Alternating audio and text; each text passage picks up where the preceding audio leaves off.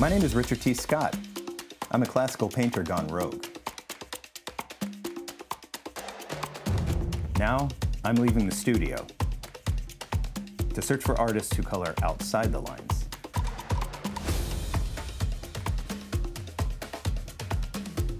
I'll be your guide on this odyssey to answer the eternal question, what is art?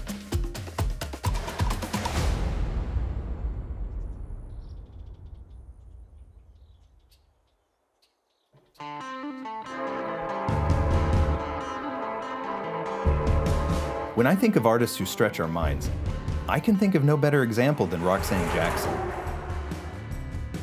Roxanne's work is impossible to stuff into a box and label.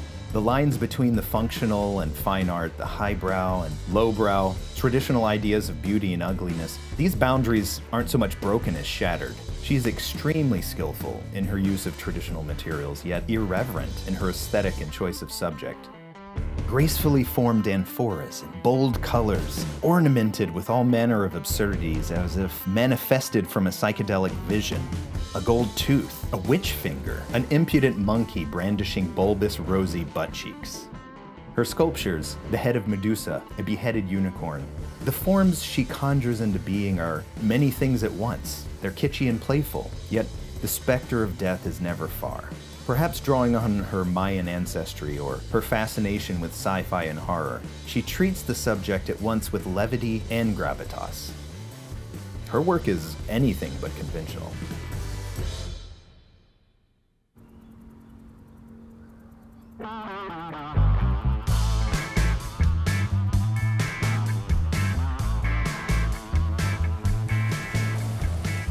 Thank you so much for having us over in your studio, Roxanne. I've been admiring your work for quite a while. Thank you so much for coming. I feel excited that you reached out to me. I'm seeing that your work has gone in a more playful direction, more irreverent. A lot of your work seems to be about breaking down the barriers between forms and genres. I was wondering if you could talk a little bit about that direction you've gone.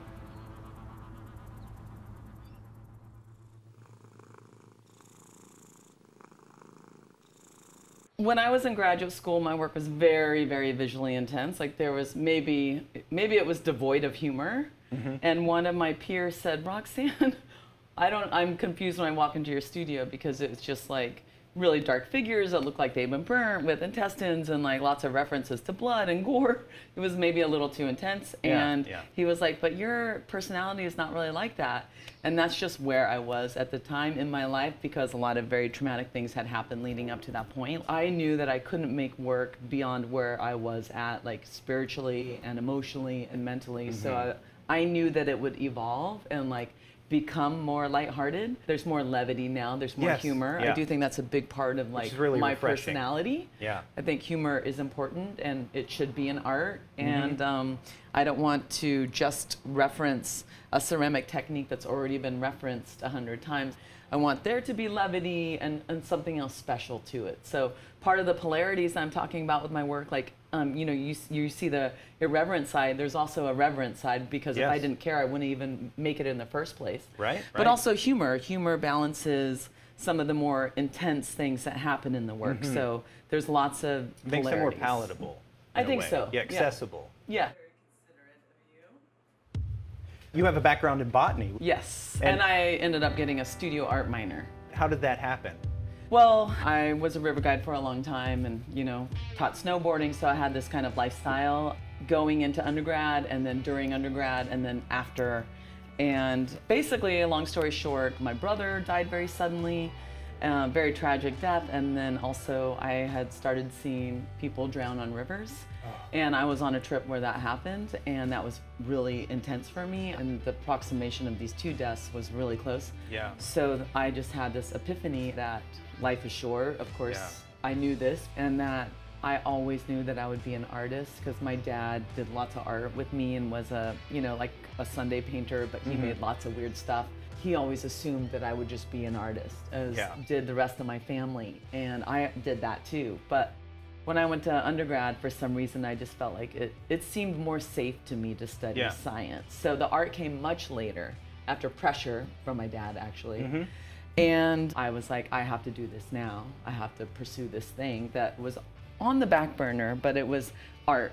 But it was always something that I knew that I would get to it. I would do it in time because it was always there with me. And so I just made a decision I'm just going to figure out how to do this. And so I um, made plans and worked for a couple years to build up a portfolio to get into graduate school. Where did you go to grad school? I went to graduate school at the University of Nebraska Lincoln, Okay. which at the time I was like, what? Where? The Midwest, huh? They have a good so ceramics flat." program. But they do have a very Yeah. good ceramics program. And I had met one of um, the professors at the time, Gail Kendall, who Mm-hmm. since has retired.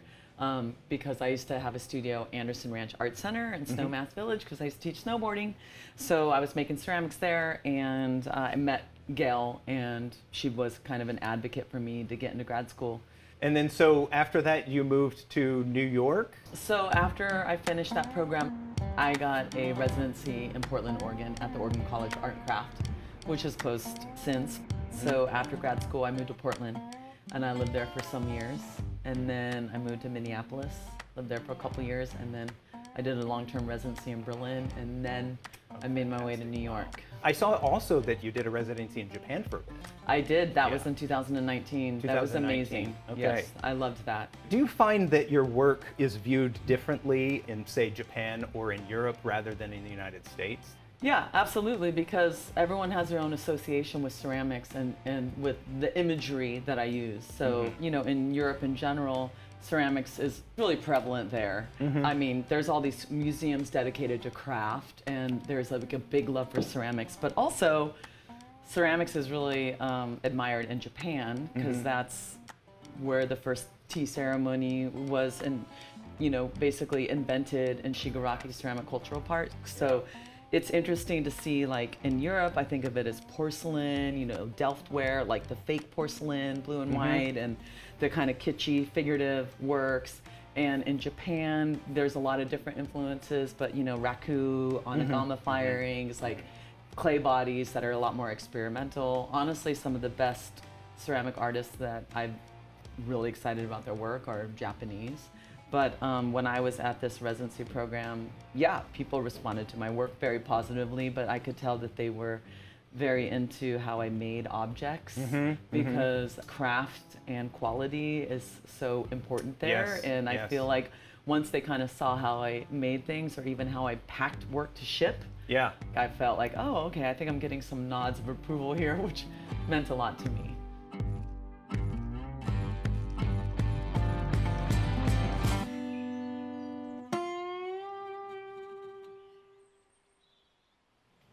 One of the things I find so fascinating about your work, the layers of glazes, they give me this sense of archaeological time, this vastness. And yet at the same time, your subject matter is very of the moment. When I'm looking at your Medusa here, which I love, it reminds me of the story of Medusa. As you are- familiar, was raped by Poseidon. And then as the victim, she was punished. And she was turned into a Gorgon. So she was punished for being beautiful and being forced through trauma, you know? And that seems uh, extremely relevant to us today. When I made this piece, when I was sculpting her, it was um, getting ready for the recent election, and I was having a lot of anxiety about that. And so that's why I was like, this piece needs to be very gory and very bloody. Yeah. And I didn't glaze it until months after the election. It is very pertinent now. One of the things about mythology and these stories is to see how they can relate to our current times. And they are they keep being adapted in different ways. Like lots of cultures speak about medusa or have some kind of reference to a female figure with snakes s- or snakes for hair. Yeah. and uh, one thing that this piece is doing when perseus was flying over the desert with medusa's decapitated head Right. her blood when it hit the sand manifested into venomous snakes. Mm-hmm. So that's kind of what's happening here. And I'm also I'm really into sci-fi horror Oh, and John Carpenter's The Thing, especially the original one from I think 1989. The Thing, the blood had consciousness. That alien form had consciousness Yeah. even at the cellular level of blood. So it was a shapeshifter and could manifest into anything. So I feel like maybe he was referencing the Medusa mythology with that story Oh, and that film. So this Yeah. is kind of showing that snakes are morphing from her blood. Could you tell me a little bit about your choices of glazes in this piece? And there's never like one glaze on anything. Mm-hmm. There's alchemy that happens with ceramics. So this is lots of glazes. And this piece has been fired multiple times, which is something that I do with almost every piece is I fire something repeatedly, mm-hmm. sometimes up to eight or nine times. And sometimes varying the temperature each firing, a technique called down firing. So you mm-hmm. fire at a high temperature with one glaze and then put lower temperature glaze on, fire it again. This is three glazes on her skin and then they're reacting with the luster. And there are three glazes that are applied, and they're not applied uniformly. So they're applied erratically to get this surface that looks somewhat stone-like. Mm-hmm. Because mm-hmm. you know, when you looked at Medusa, if you looked at her in the eye, you would turn into stone. So Right. I wanted her skin to actually reference stone. When you get a chance to look at these up close, it really comes through. There's iridescence on this blood, which is really beautiful. The layers of glazes, in many ways, they feel very biological and oftentimes botanical and geological. There's so many different individual expressions that you've been able to attain with your glazes. You have a lot of uh, split heads. Is there a intuitive kind of thought behind that? When the forms I'm making are more sculptural, the process that I build with them is like I build things solid, and then when they get to a certain firmness, I hollow them out section by mm-hmm. section. So every element of this is hollow. Mm-hmm. And that process means I'm cutting pieces, and I was for years always seeing these flat planes or these flat edges from cutting a section. And one day I just paid attention to that process mm-hmm. and kept it. So that was one reason that I started doing these splayed heads. And I think that's really interesting because the process also informs the imagery, and that is Yeah. something that I have learned, you know, that I, it keeps surprising me, and just the process itself teaches me. So it's this like circular effect. Yes, Um, yeah. And then also when, when I do something that's a split head, to me, it's implying that the piece is changing and evolving. And I think of everything as a shapeshifter because the mm-hmm. universe is constantly changing and constantly expanding. Mm. And the only truth in the universal law is change and transformation. So a leaf obviously turns brown and changes with the seasons. We are also changing because we are also aging. The rocks are changing. So everything is a shapeshifter, mm-hmm. just at different rates. So to me, the split head is alluding to um, a form that's kind of turning in on itself, and it is alluding to that transformation, which is a metaphor for many things, mm-hmm. including aging, including death, you know, whatever, however you want to see that. So I see it as like a moment in time mm-hmm. captured, which also is happening with the glaze because glaze, when it gets to temperature in the kiln, is actually melting like molten lava in the kiln. And then the kiln stops going up and cools. So the process of ceramics is like igneous rock. So I also think about this blood mm. was actually melting in the kiln at one point in time. And I'm capturing it as it cools and freezes. So to me, that also makes sense with a split head being fr- a, a thing that's being frozen in time. Like the process mimics geology, but the form itself mimics geology, like a geode or some kind of rock that's petrifying and changing over time. So, Yes. Does that make sense? Yeah, absolutely. I really feel that your choice of materials is communicating much of your concept as well. Like it's all seamlessly fitting together. Even among fantastic artists, it's that's kind of a rare thing. Like the form is and the function are all all kind of seamlessly expressing harmonically the same thing. So it's really cool to see how you developed this.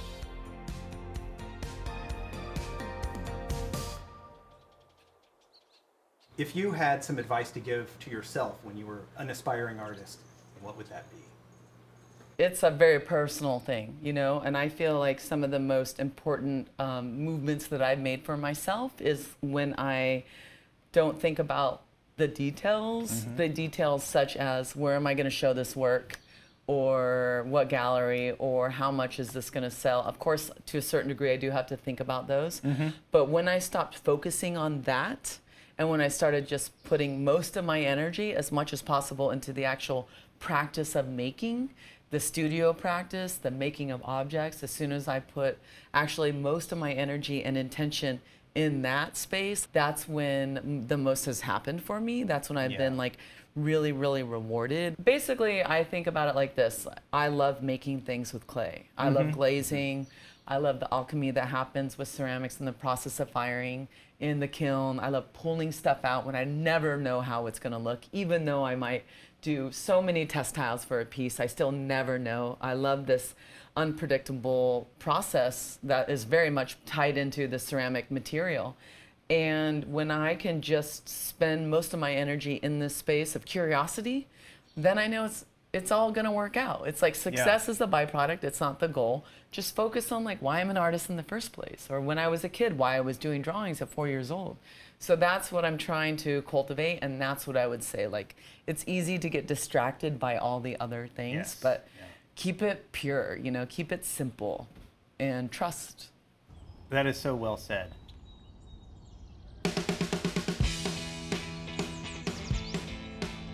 You know, in the major arcana of the tarot, the High Priestess, she emerges when the veil between you and the underworld is thinnest. Roxanne is like the High Priestess.